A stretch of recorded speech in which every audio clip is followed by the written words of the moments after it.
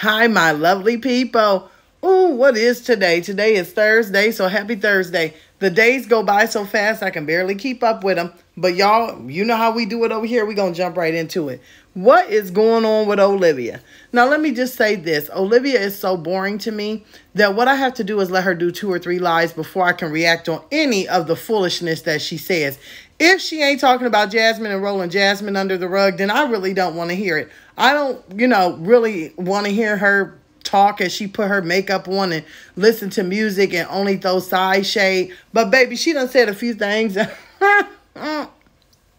that are almost laughable. So when she went live the other night talking about she was going to be spilling all the tea, where she kept uh, you know, her sunglasses on all night because it like she was a little bit high, you know. I'm just going to say it. That's what it looked like to me. So she kept the sunglasses on for 2 hours and she began to talk and it was, you know, real funny how she kept saying that after people called in, the lesson that she learned the most from and coming into the new year was pressing charges on people. Baby I almost fell out my chair. Pressing charges? Okay, hold on. I need to see one paper that you press charges on somebody and it's stuck, okay? Because it doesn't make any sense. Let's just break it down. Number one, you went and got a restraining order on Jerrod, okay? And that thing got dropped so fast, baby, you couldn't even take a nap and wake back up. So I don't even get that. Then you talking about you pressing charges on folks when you got out here and was running your yap and someone else other than Jerrod got in your face, put you in your place and hold you in a damn parking lot and you did absolutely nothing but come home, click on the camera, sit there, huff puff, dig in your cantaloupe, sniff your hands and look crazy. You did absolutely nothing but look like a fool. So who are you pressing charges on that's sticking? Who are you out here saying that you need their real name and their addresses and whatnot? Then you are alluding to the fact that you are sending out cease and desist. Who you sending them to, honey? Because I, I would like to know. Because, see, first off, a cease and desist would actually require a court date, okay? That would be a court date. That's not yeah, you can get any attorney or you could do it yourself. You could type it up and say this and say that. But baby, I don't pay attention to anything and nobody else should if it ain't delivered to your door by a sheriff. Because see, when a sheriff come to deliver it to you, that means it's been through the court system and a judge has seen it and now you have a court date somewhere. Usually it's a subpoena or something like that. Honey, ain't nobody listening to the damn threats that you throwing out. Ain't nobody worried about uh cease and desist. You look like a fool out here in these streets. You look like the punk now. See, you thought you was going to get out here and run up on Jasmine and punk her and tell her she better keep her mouth shut. But then she came and started clapping back at you and you had absolutely nothing to say. So this is what I get out of this conclusion, okay?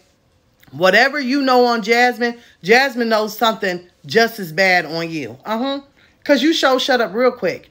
Soon as Jasmine got back on the scene, it was like, uh, let me do my makeup. Let me do my nails. Let me pretend to have a job. Now you over here sitting there like you, I'm going to work, y'all. I'm going to be a bartender. Now, I don't know how it works in Florida, but I highly doubt that Olivia is a bartender, okay? Because, see, I used to bartend in the past. I've had a, a bartending job. And I'm, like I said, you um typically, I'm going to guess it's a statewide thing, have to obtain a liquor license, you know, to serve liquor personally. I mean, you have to uh, obtain a liquor license yourself if you just want to go and work into um, a liquor store, which requires a little test and, um, you know, putting a little knowledge into it, putting a little money into it. Typically, you have to pay for it up front and then the job will reimburse you in one of your further checks. But I'm going to say anything that would take Olivia having to take a test or take brain or, you know, ask for anything, any kind of credentials, I'm going to check that as a big no. Okay. Now, if somehow she did muster up enough courage to go out and take a test and maybe actually pass it or whatever the case may be, then guess what? I'm going to tell you why she chose a bartending job, okay? Because as a bartender, it's going to say on your paycheck that you make about $3 an hour, similar to a waitress, okay?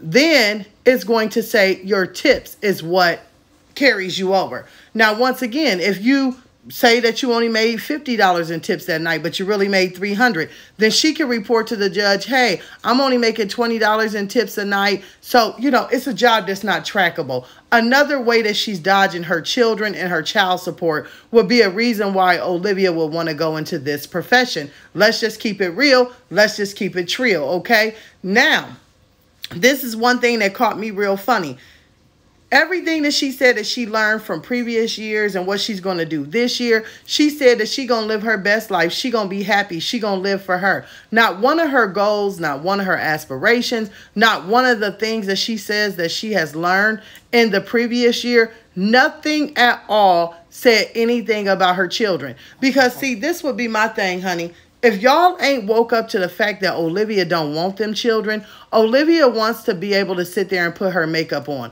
Olivia wants to be able to snort when she wants to, drink when she wants to, and party when she wants to.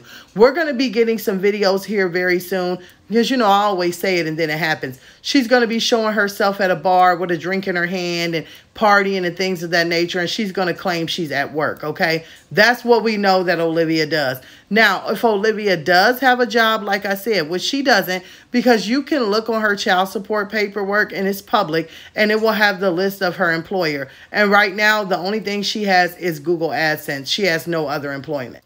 So the bottom line of everything is this here. Olivia doesn't have any goals to try and get her children back this year. She says she wants to travel across the world, so that doesn't say that the children are going to be anywhere around. Her so-called baby AJ is with her mother in Florida going to see his real mother Raquel somewhere down the line. You know, that's how that goes. Um, Olivia right now, I mean, what kind of dirty dog is going to try and get jobs and do things to uh, bypass child support? She sure wasn't doing that when Jerrod had to pay her $300 a week. Now, was she? She was collecting them checks and running around the country with them kids. You are a sack of shit, girl. Like, come on. You want to get up here and you want to talk about doing nails, doing hair, and doing makeup, but you can't even buy your babies a pencil or a folder. Get up out of here. Mm-mm-mm-mm-mm. This is a shameful lady that has absolutely no content no morals, no backbone, no nothing. And honey, if you think that hair is doing something with that platinum blonde, guess what? You look like a fool. I just want to say it. See, you should have just left it the way it was and tried to say you were going to go natural. But since you want to be over there thinking that you in grease lightning, then I'm here to let you know you look like a damn hot ass mess. And that's just my opinion. And, uh, you know, opinions are like assholes. Everybody got one. But I wanted to check in and let y'all know ain't nothing going on over there with Olivia but snooze fest not being a mama, not being a woman, not being nothing, um, throwing out all these false claims and thinking that she really doing something. Other than that, honey, you're boring. So on to the next. I'll see you guys in the next reaction and in the comments below.